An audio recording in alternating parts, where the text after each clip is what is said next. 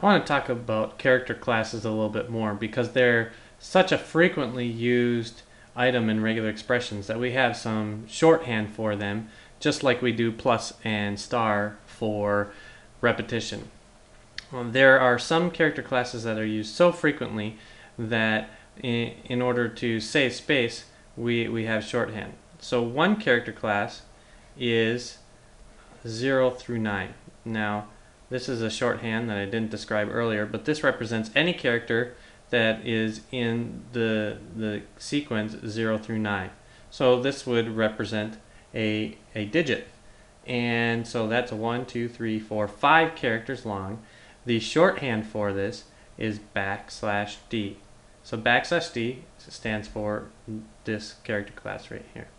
A, another character class that you, gets used very frequently is the character class A through Z, both capital letters and lowercase letters. And notice here you can have two ranges in a um, character class, as well as the underscore character. Um, and that is shorthand with backslash W for a word or a wordy character.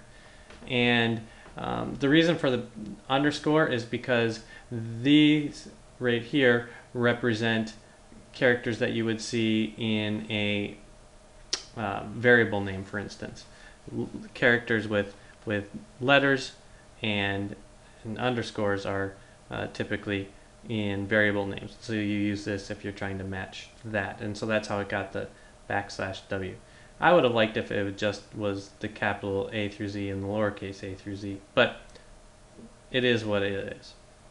Then the, the third character class that is very frequently seen is the character class that includes the space, it includes the uh, horizontal tab, the, the new line character, the form feed, uh, the hor- the the vertical tab, um, and and maybe some other white space characters.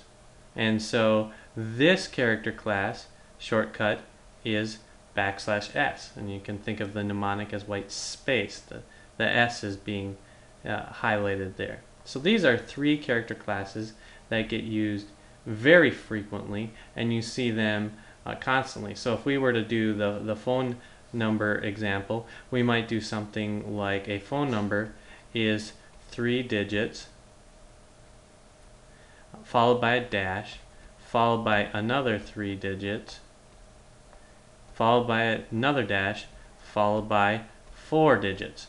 And that's a regular expression for one of the representations of our phone number that, that we looked at in our thing. That matches this particular set of, of telephone numbers right there.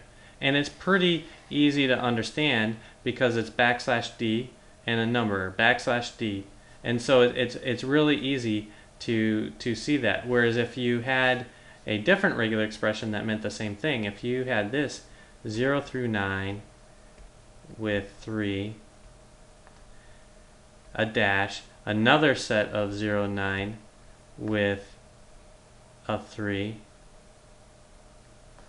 a final dash, and our third 0 to 9 with a 3. This is a lot harder to, to read com compared to this.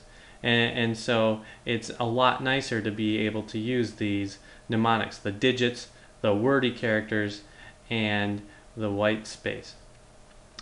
Finally, there is a character class that gets used even more frequently, maybe than all three of, of these put together. And that is the white space, uh, the, the character class for, and, and I don't have room to represent it. Uh, so it, it turns out I do have a compact way of doing it. Um,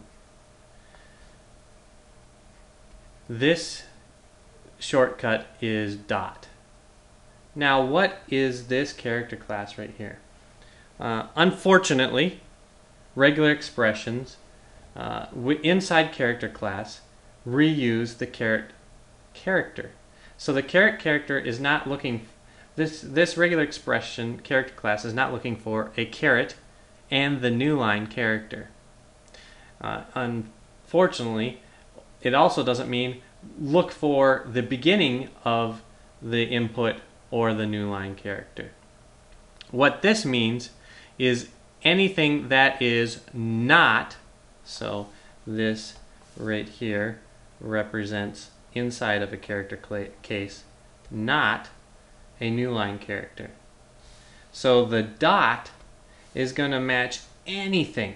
It's it is your wildcard character because it matches any input with the exception of new line. And the reason why it doesn't match new line is because that typically terminates our input. And so uh, we don't want the dot matching the end of line. We want that to be the, the dollar sign placeholder instead. there are, are ways to, to get the dot to match new line characters sometimes, um, but um, for the most part, we will think of it as matching anything with this one tiny exception, that being the, the new line character. Um, because we, we can have uh, negations of character classes, it can be really helpful to have anything that is not one of these three character classes as well. So there is a character class that is backslash capital D, and that represents anything that is not a digit.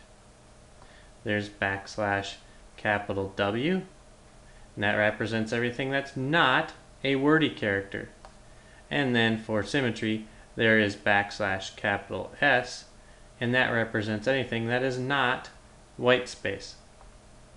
And so there, there turn out to be more than this for character classes that exist, more than just backslash DWS dot capital D, capital W, and capital S. But by far, these are the seven most frequently used character classes that are available to you. And you need to just be able to look at a regular expression and immediately see them and say, ah, I know what that is. That is a digit. That is anything that's not a word. That is the wild card and just be able to know that without having to look at some reference. If you see some other weird character class, you can go ahead and, and look it up. That's fine because you won't see it as frequently. But these seven, you just have to know on the top of your head because they get used so much. They, they just have to become second nature to you.